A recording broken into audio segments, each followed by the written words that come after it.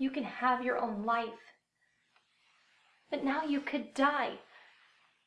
You're putting yourself in harm's way. And you think everything will be okay if we have a quick wedding?